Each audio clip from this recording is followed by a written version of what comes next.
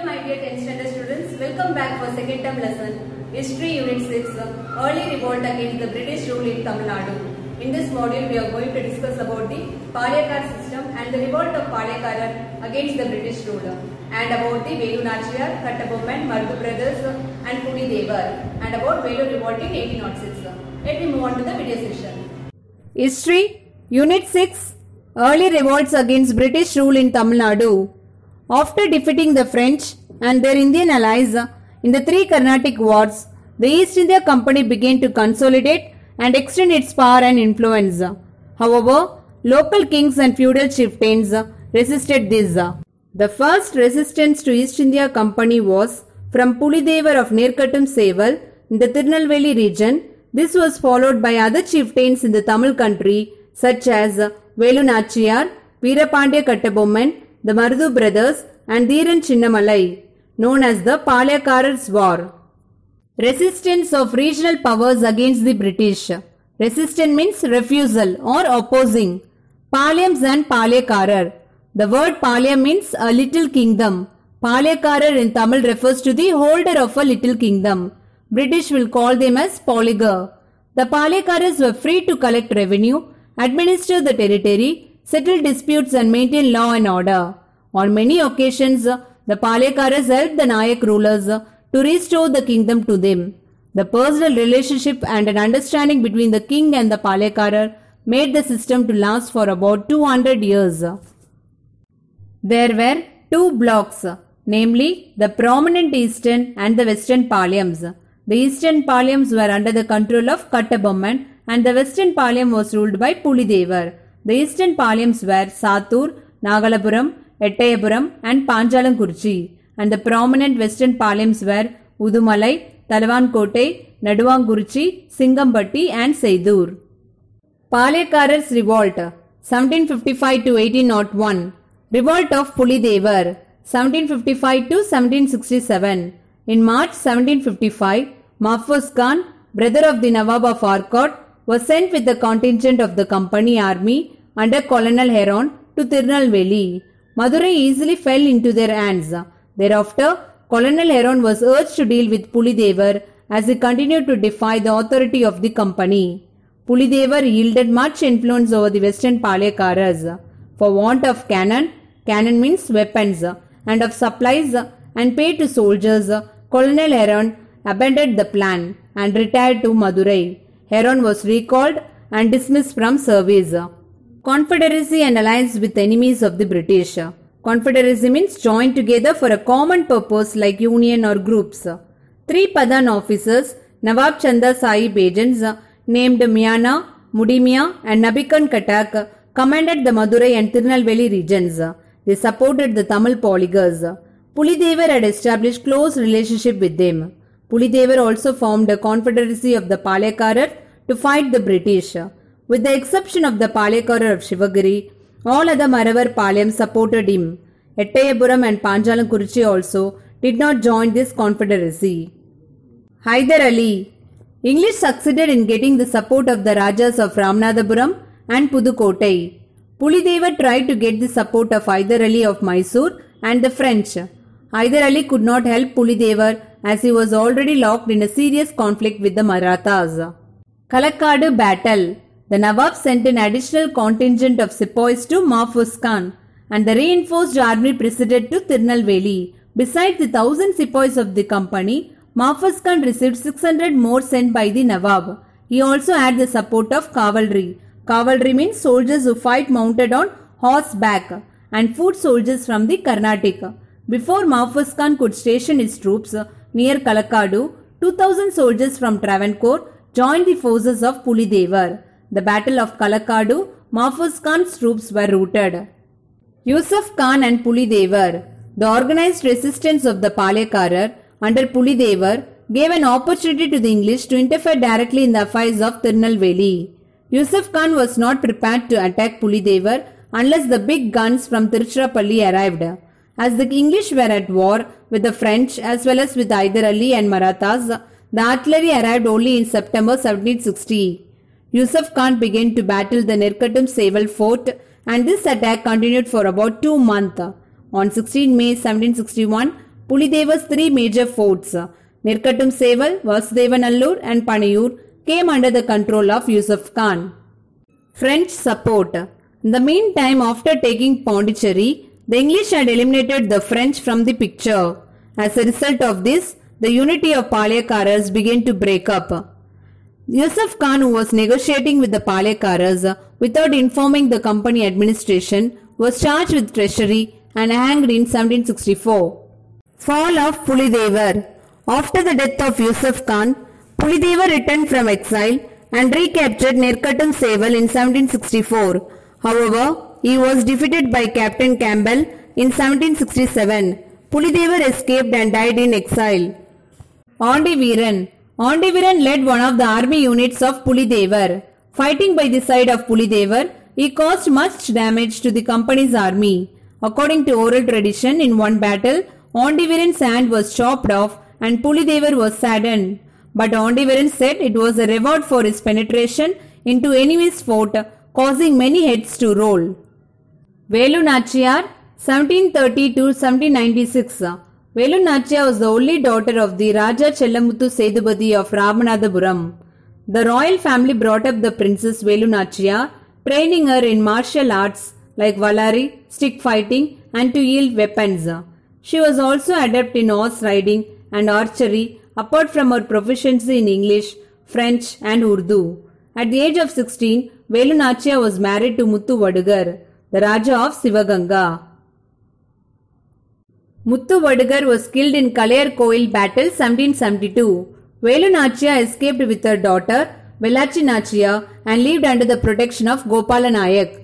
During her period in hiding, Velu Nachiyar organized an army and succeeded in securing an alliance with not only Gopala Nayakar but Hyder Ali as well. Velu Nachiyar employed agents for gathering intelligence to find where the British had stored their ammunition. Ammunition means bullets, etc.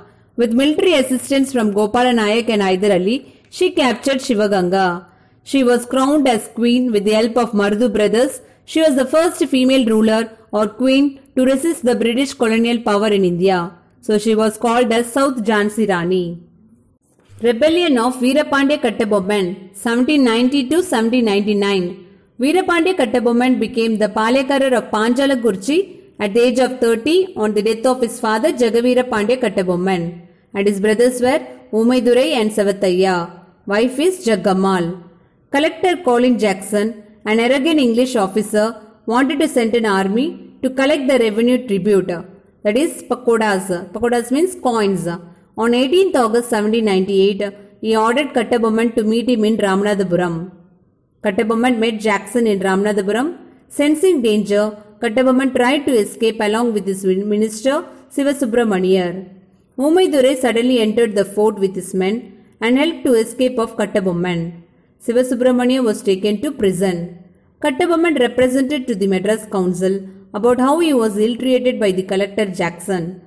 Governor Edward Clive ordered the release of Sivasubramaniar and the suspension of the collector Jackson.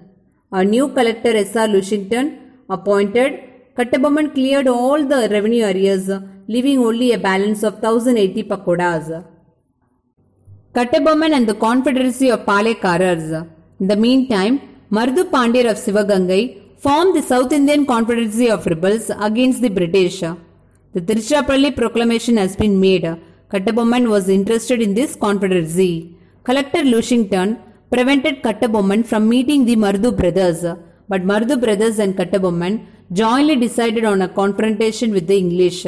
Kattabomman tried to influence Sivagiri Palyakaras, who refused to join.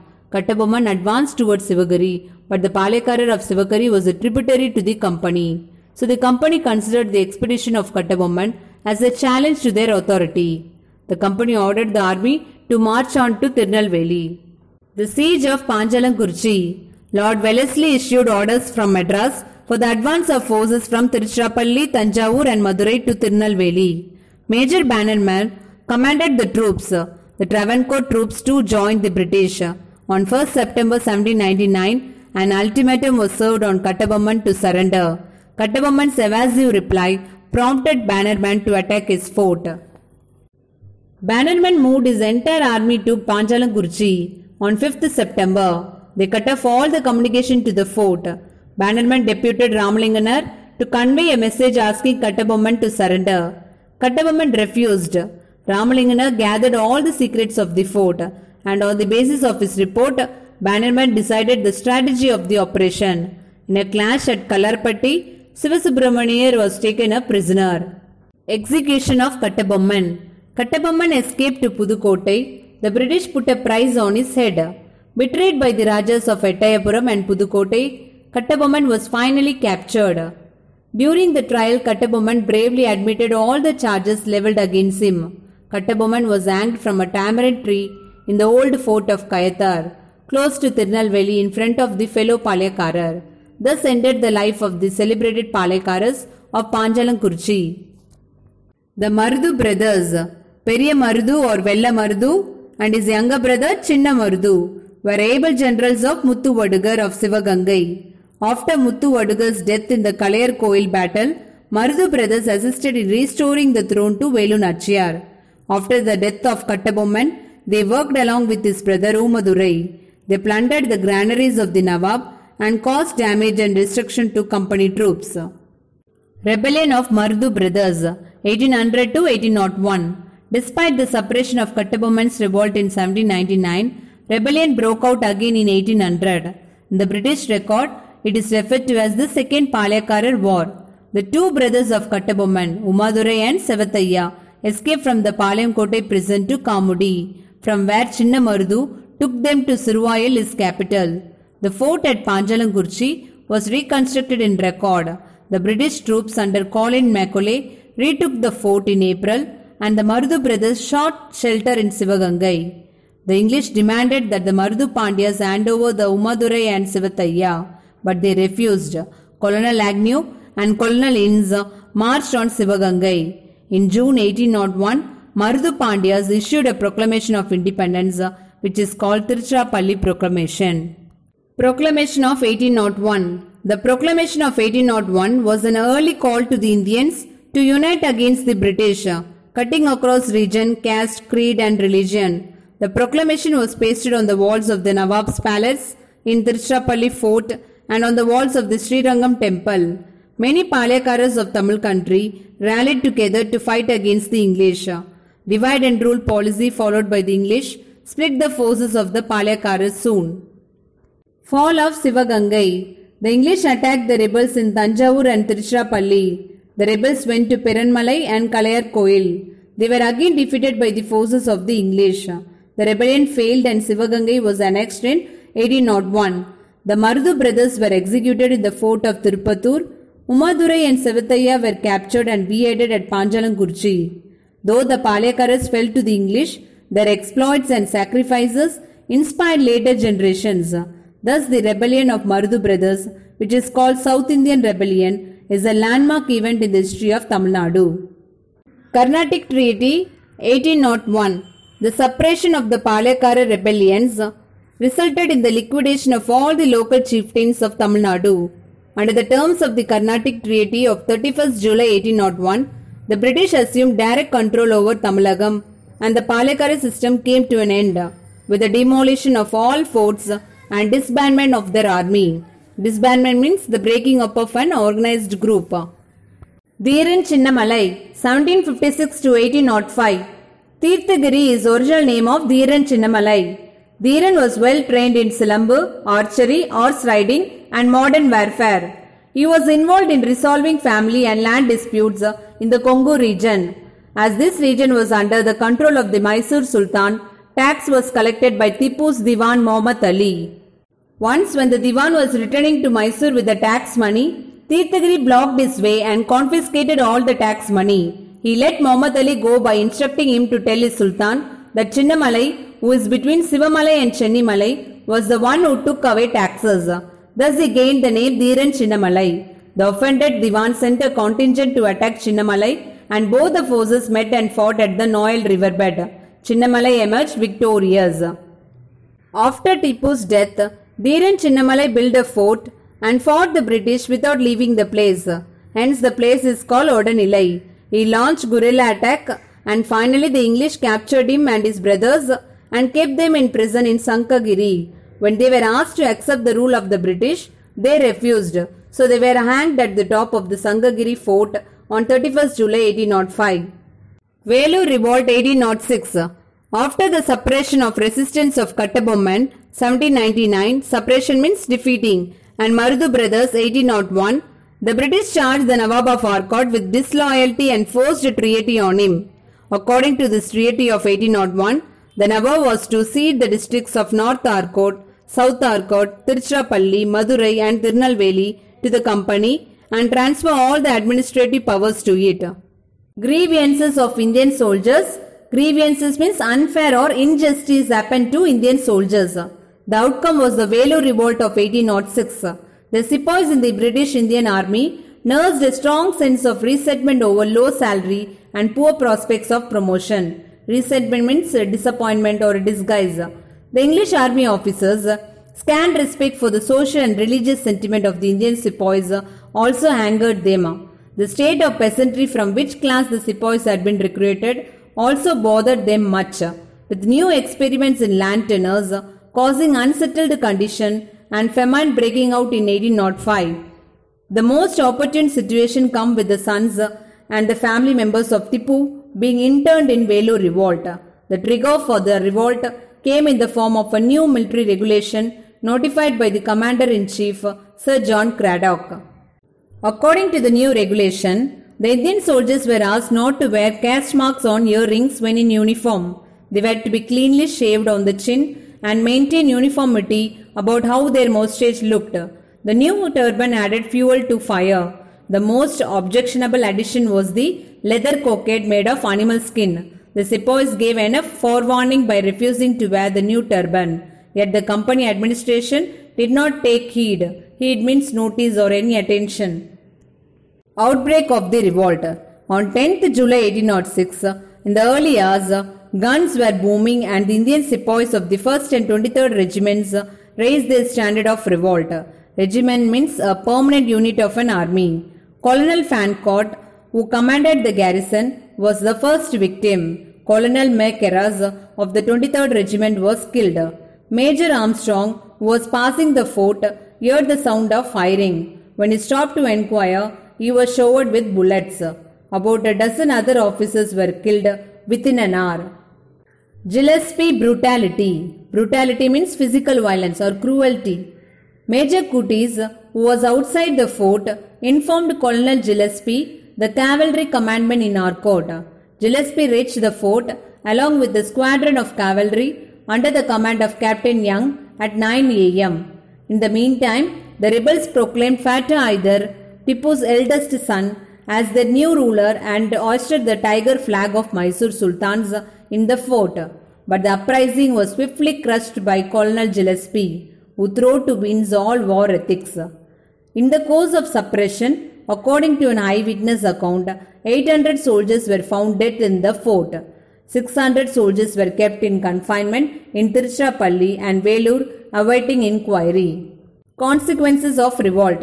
Six of the rebels convicted by the court of inquiry were blown from the guns. Five were shot dead, eight hanged. Tipu's sons were ordered to be sent to Calcutta. The officers and men engaged in the suppression of the revolt were rewarded with prize money and promotion. Colonel Gillespie was given 7,000 pakodas. Pakodas means coins. However, the commander-in-chief, Sir John Cradock, the adjutant general Agnew, and Governor William Bentinck were held responsible for the revolt, removed from their office and recalled to England. The military regulations were treated as withdrawn. Estimate of revolt. The Vellore revolt failed because there was no immediate help from outside.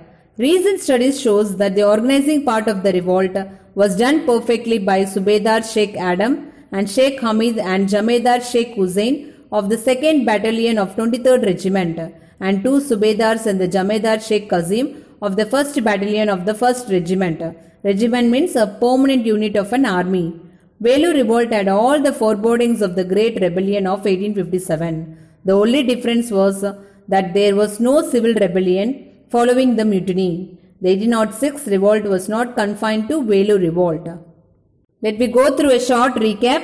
Prominent Palyakaras of Tamil country and the resistance to the rule of East India Company are discussed. The wars waged by Pulidevar, Velunachiyar, Veerapandiya Kattabomman, followed by Marudu brothers of Sivagangai and Dhiran Chinnamalai against the British are elaborated. The reasons for the Vellore revolt and the ruthless manner in which it was suppressed by Gillespie are detailed. Dear children, go through the lesson and learn book back questions and answers. Take care of yourself. Bye bye.